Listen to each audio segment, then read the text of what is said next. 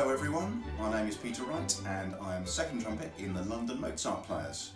The second trumpet is also known as sub-principal trumpet and I like that better. Welcome to LMP at Home. Today I'm going to tell you a little about playing the trumpet in a chamber orchestra and also challenge you to a competition.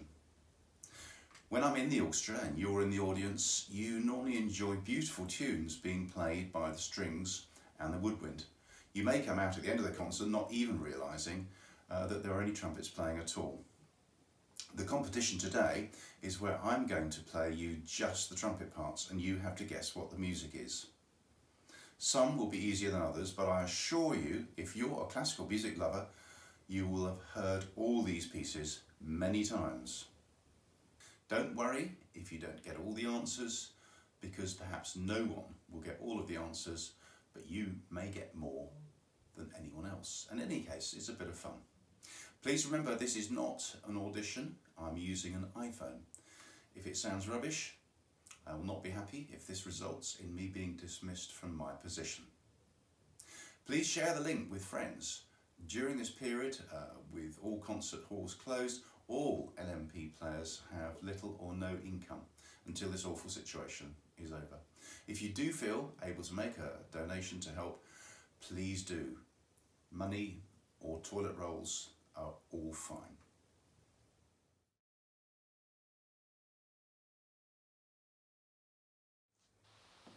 Here we go with piece number one. This is something that is regularly played in the London Mozart Players.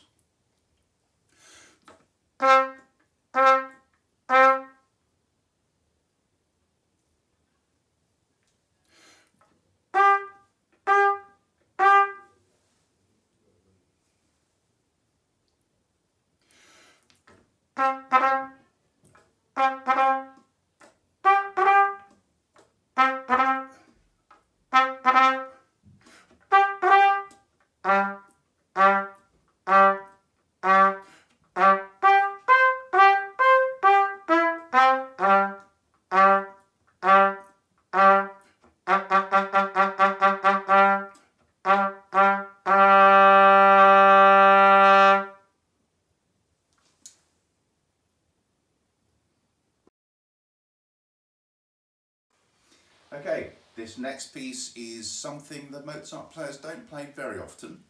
And in fact, there's only one trumpet part anyway. So I'm going to be playing the first trumpet part. And this is the only little section that the trumpet plays in, in the whole piece, which is about 15 minutes long.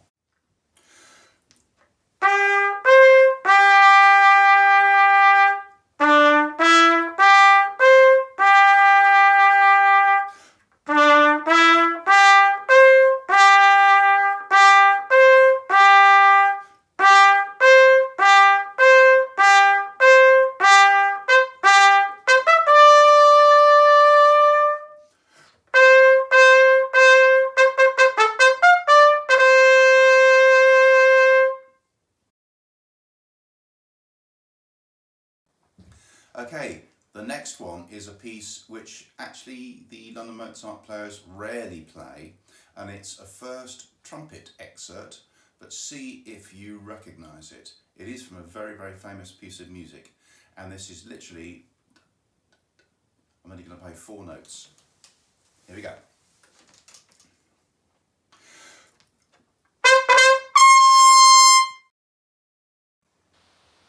How are you doing?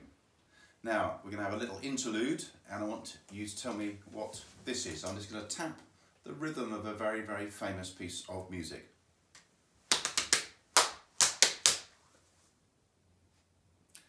Okay, it's a Mars bar. It's from Mars and the Planets. It's a 5-4 bar. So, and at the moment, the only part of that that I can play you is this.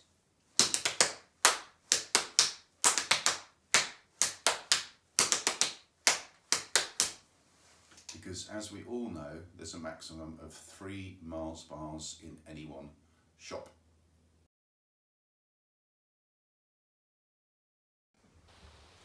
Okay, on with the competition. Now, this next piece is one of it's known as one of the more, most difficult second trumpet uh, things to play in music. To you it'll sound incredibly simple, um, but what's hard on a trumpet is playing very quiet and very low. And this piece of music is very, very well known and it is low and it's very quiet and it gets slower and slower and quieter and quieter. And many second trumpet players really, really hate to have to play this piece and if they see this is in the program, they often take the concert off.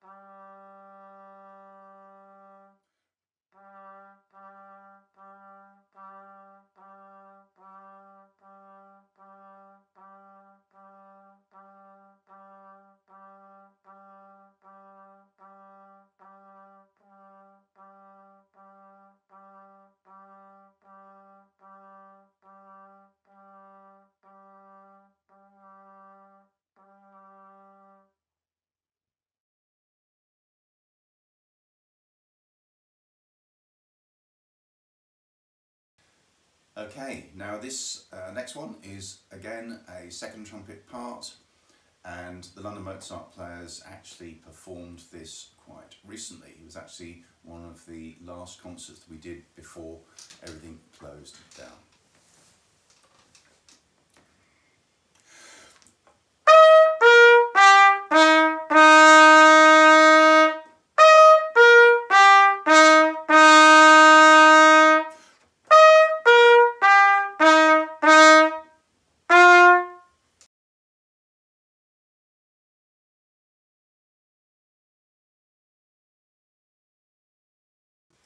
Okay, this next piece has a bit of a story to it. Many years ago, well about 15 years ago, um, Sir James Galway was conducting the London Mozart Players at the Barbican Centre and after the rehearsal we went off for supper and we were absolutely sure that the concert started at 8 o'clock. We looked on the schedule but in actual fact the schedule we looked at was for a repeat concert the next day and in fact the concert started at 7.30. Consequently, the trumpets and drums weren't there at the start of the concert. But the worst thing was that nobody noticed. So Galway went onto the stage and this next piece, it actually st starts just with strings. This is a bit of a clue, doing pizzicato. Then again, bom, bom, like that. And there's seven bars and then the trumpets and drums come in. So Galway's over here conducting the strings, bom, bom, like this. And when it gets to the seventh bar, he turned to bring us in and we weren't there. He was very, very cross. But uh, I apologised and in fact he accepted the, the apology um, and uh, I found out that his favourite drink is actually not Irish whiskey but Scotch whiskey and I got him a large bottle the next day. But I'm going to play a section of this piece uh, a little bit later um, in the piece of music because the, the, the beginning bit's so boring you really don't want to hear it. So here's a second trumpet bit uh, from later on. In fact, I'll play the very ending of this and see if you can guess what it is.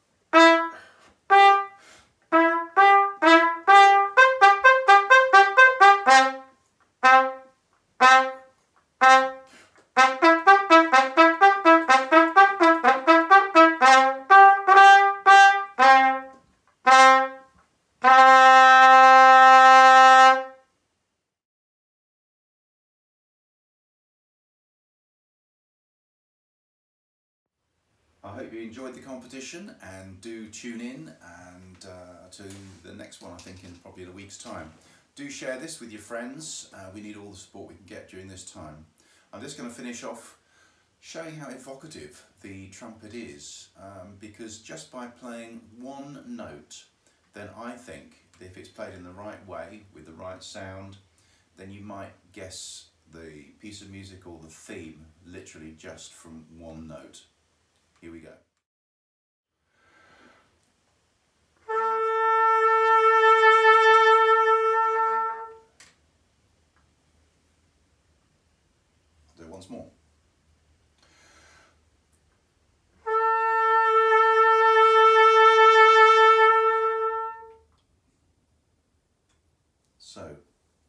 Thinking?